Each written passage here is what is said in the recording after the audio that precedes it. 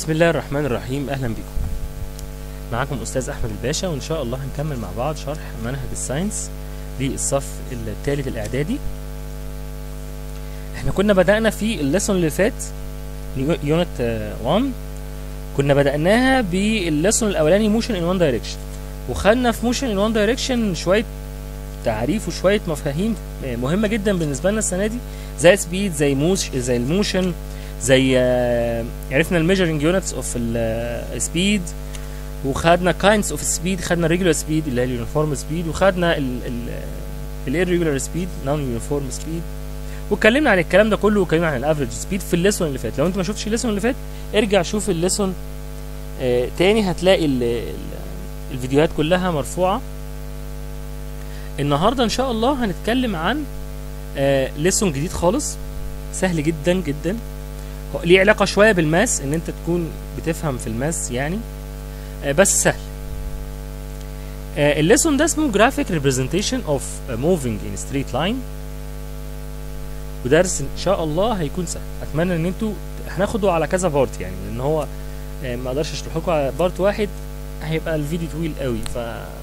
فخلينا كده نبدأ ب part number 1 يعني إيه graphic representation graphic representation يعني التمثيل البياني. يعني بالعربي كده اسمه التمثيل البياني. اللي هو إحنا بناخده في ال math اللي هو ان انت عندك إكس اكسس واي اكسس وبتوقع عليهم data خلينا إيه ما نسبقش الأحداث. خلينا نبدأ مع بعض. الدرس اسمه graphic representation of moving in straight line يعني في خط مستقيم. هعمل تمثيل لل data دي نتيجة حركة في straight line فبيقول لي إيه؟ بيقول لي إن أنا عندي مثال الأول كده علشان أشرح لكم يعني إيه graphic representation بيقول لي ال graphics can possibly represent relation between speed and time. يعني أقدر أعمل تمثيل أو أعمل representation ل data جاية عن طريق speed و time يعني لو أنا مثلا ماشي بسرعة 20 في الدقيقة الأولى وبعدين مشيت بسرعة 30 في الدقيقة الثانية ومشيت بسرعة 40 في الدقيقة الرابعة. وهكذا أنا بقى عاوز أعمل علاقة بين ال speed دي وبين ال time. فبيقول لي إن الجرافيك تقدر تعمل representation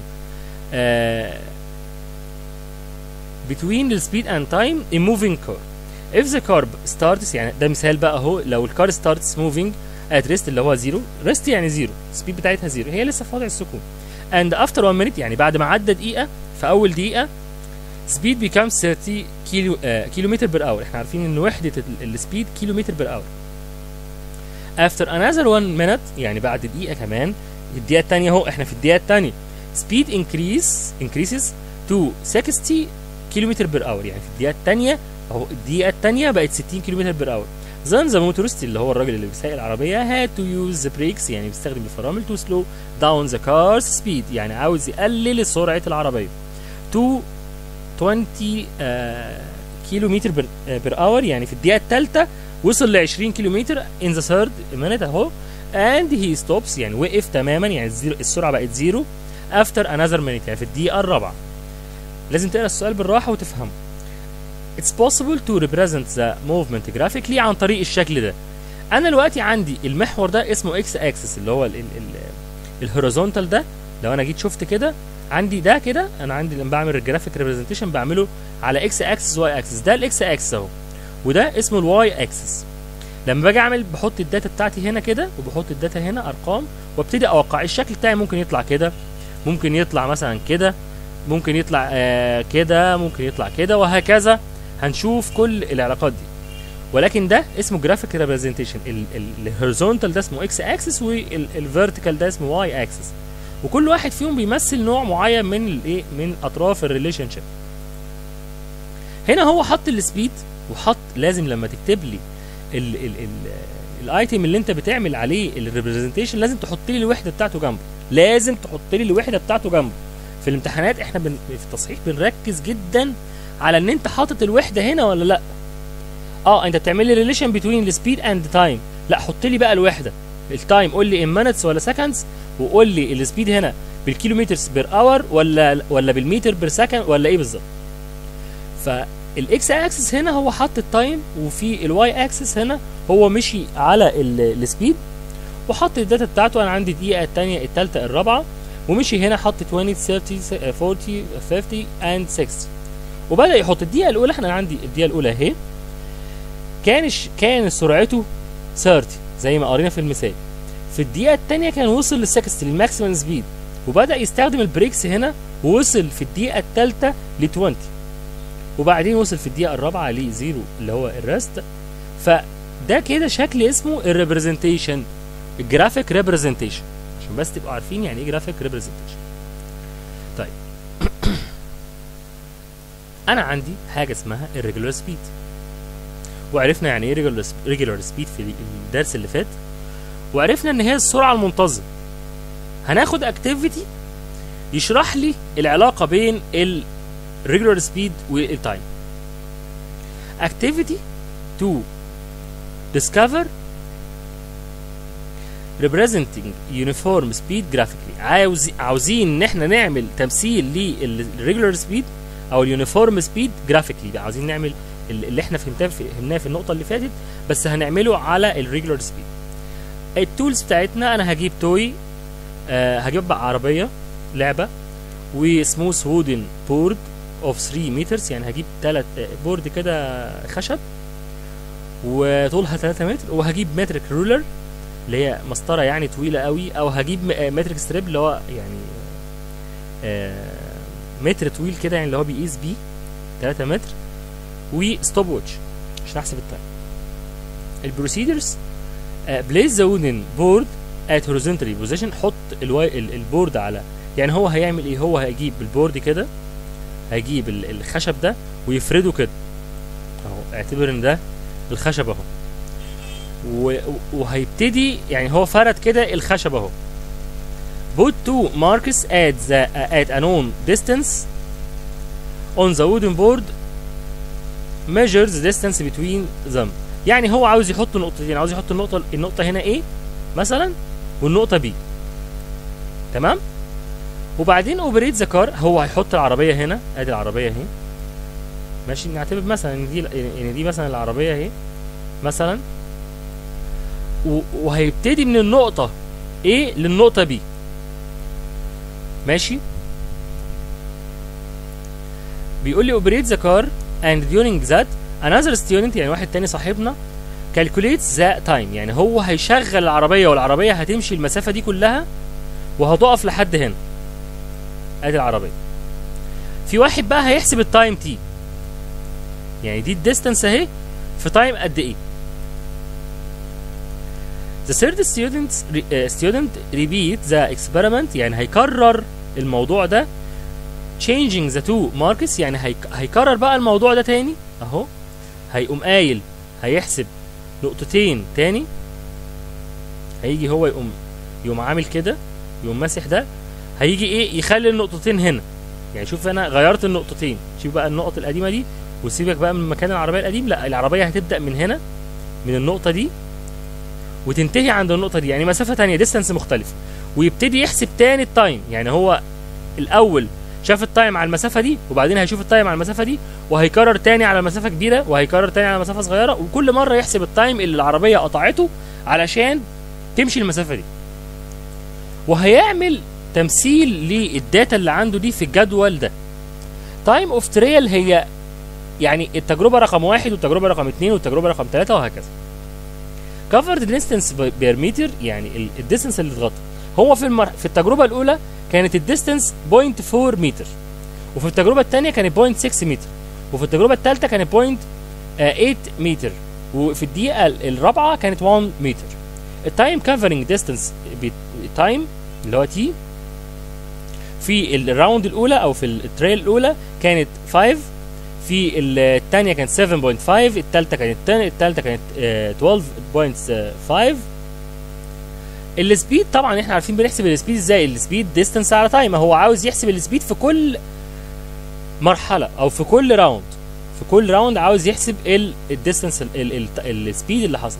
فال speed عبارة عن الدي على التي مش ده الدي آه ده الدي على التايم ف 0.4 over 5 اداني النتيجة دي اللي هي 0.08 في الثانية برضو قسم ال distance على ال time طلع نفس ال speed. في ال time الثالثه قسم نفس ال distance قسم ال distance على ال time اللي, اللي, اللي, في ال time اللي اتاخد فيه عشان العربية تقطع المسافة دي.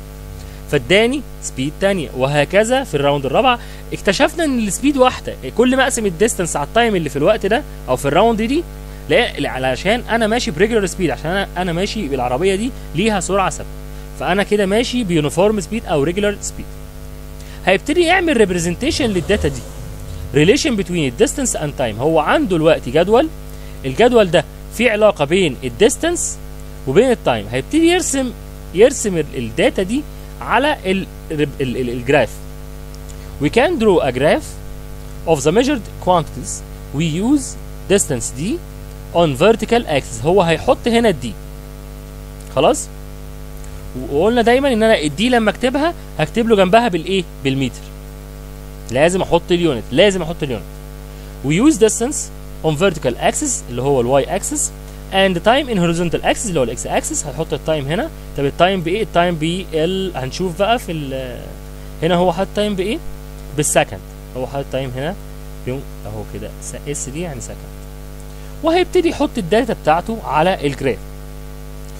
Then we place the reading uh, in the table in the shape of dots هيحط ال data بتاعته على شكل دواير dots okay ويشوف ال data دي ال line اللي هيطلع شكله إيه هيوصل ال data دي ببعض بعد كده ويعرف ال line اللي طالع شكله إيه then we match these dots together we find that they are located on a straight line passing the intersection يعني التقاطع point intersection point اللي هي ال point دي يعني ال point دي اسمها ال intersection point يعني خط مستقيم بيعدي بنقطة الأصل. Observation المشاهدة. All points lie in straight line. أو شوف الشكل بقى هو قال لك أنا في الدقيقة جه هنا.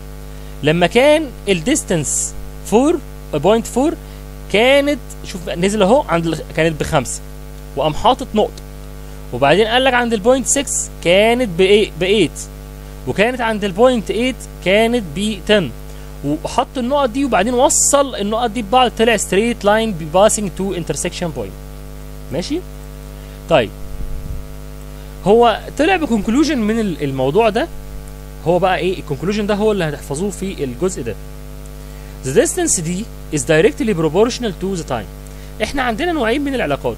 حاجة اسمها ال directly proportional أو ال proportional وعندنا حاجة اسمها ال inversely proportional ال directly proportional عاملة كده. يعني كل ما ده يزيد كل ما ده يزيد ده يزيد. وعندي حاجة تانية اسمها inversely proportional يعني كده يعني كل ما ده يزيد كل sorry كل ما ده يزيد هتلاقي ده قل ده بيقل يعني علاقة عكسية. The ratio d over t اللي هي speed is constant value which represents the regular speed. The distance time uh, graph ال distance و time graph for an object moves without uniform speed uh, with uniform speed uh, is straight line passing through the original point. دي الثلاث نقط الأساسيين اكتبهم اللي تهتم بيهم في ال ال الجراف ده اللي انت محتاجه في الجراف ده. إن أنا عندي عملت representation لل data طلع straight line واكتشفت إن أنا ال distance is directly proportional to the time وإن أنا عندي constant value which represents the regular speed عندي d على t ده constant value وال distance time graph of for an object moves without uniform uh, sorry with uniform speed is a straight line يعني straight line. بي بيمر بال origin point اللي هي نقطة الأصل. Draw the relation between ال V. هنعمل بقى رسم أو يعني علاقة بين ال V وال T. يعني أنا هنا لما جيت رسمت ال graph في ال representation اللي فات عملت بين ال d وال t يعني قلت ال point 4 فين ورحت على على ال point 5 وعملت إيه؟ علامة. يعني شفت هنا ال point 4 فين؟ ماشي. sorry كده عشان بس ما تلخبطوش. شفت ال point 4 هنا فين؟ آه هنا أهو وفين ال point 5 وقمت عامل نقطة هنا. وبعدين شفت ال point 6 فين مثلا؟ وشفت ده هنا فين؟ وشفت قمت عامل dot هنا. ووصلت ال dots دي ببعض لقيتها. عاملة خط مستقيم. sorry هو الخط بقى مش مستقيم قوي بس خط مستقيم بيمر بال intersection point أو ال origin point. هيرسم بقى علاقه دلوقتي بين ال speed وبين ال time ونشوف إيه اللي هيطلع هنرسم علاقه بين ال speed وبين ال time we can get we get graphic relation as shown in, in the figure we use the previous table to draw اللي هو الجدول اللي أنا وريته لكم دلوقتي to draw a, uh, the graph relationship between ال v and t بين ال speed وبين ال time ال observation all point on a straight line parallel to x axis يعني هو لما رسم هنا ال graph ده بصوا كده على ال graph ده. ال graph ده في حاجة غريبة هو جه عند انت عندك ال speed أصلا في كل time طالعة point 8 فجه عند عند ال ال ال ال time ال time 5 راح شاف ال speed بكام؟ لقاها point point 8 راح عند ال speed 7.5 لقاها point 08 راح عند ال point 10 لا فالست فلما وصل الخط ببعضه لقاه straight line parallel to يعني موازي للاكس اكسس اللي هو إحنا قلنا horizontal ده. فال conclusion بتاعي speed remains constant as time passes. أنا كل ده بتكلم على ال uniform speed time uh, graph for the object for the object moves with regular uniform speed is a straight line parallel to x axis parallel to the time axis اللي هو ال x axis. الحاجات دي بتيجي دايما في الامتحانات يعني دايما بيجي في الامتحانات يقول لك أكمل. ال speed time graph بيبقى ايه بيبقى parallel to x axis وممكن يجي في الامتحان على فكره يقول لي ارسم يجيب لي الداتا ويقول لي ارسم some facts are classified او clarified يعني بقت واضحه about irregular movement in a straight line the distance time graph for regular motion at constant speed is represented by straight line passing through the origin point يعني لما رسمنا الدي مع التي بقى straight line passes through the origin point. أما لما رسمنا the speed time graph for the uh, regular motion at constant speed is represented by straight line parallel to the x axis or the time axis. ده كده إحنا النهارده خلصنا. أنا هقف لحد هنا. إحنا خلصنا أول جزء من الدرس. يعني شوف الدرس سهل جدا. أنا بتكلم على الريليشن شيب بتوين الديستانس والتايم والفيو والتايم في ال uniform speed هنكمل إن شاء الله ال- الدرس اللي جاي أو ال part بقى اللي آه، جاي إن شاء الله. هناخد ال irregular speed أو إن أنا يكون عندي سرعة غير منتظمة وهبتدي أعمل لها representation لل data بتاعتها بنفس الأسلوب اللي أنا عملته على ال ال uniform speed أتمنى إن أنتوا تكونوا آه، متابعين آه، معايا كويس. و... وبتذاكروا أول بأول هناخد في الدرس اللي جاي إن شاء الله آه، حاجة اسمها ال acceleration و... وإن شاء الله هنحاول إن إحنا. نخلص الدرس في ال- الجزء اللي جاي إن شاء الله وهديكوا كده نبذة سريعة عن ان لو بقى لو بقى إيه إيه ال regular speed إحنا خدنا النهارده ال regular speed أو ال uniform speed في. في ال part اللي جاي إن شاء الله هنتكلم عن ال acceleration وهنشرح يعني إيه acceleration وهنخلص إن شاء الله ال- ال lesson أتمنى إن أنتوا تكونوا مبسوطين بالشرح آه وتبعتوا لي دايما وما تنسوش تعملوا subscribe للقناة بتاعتنا. آه إن شاء الله نتقابل في فيديوهات تانية كتير. كنت معاكم أستاذ أحمد الباشا.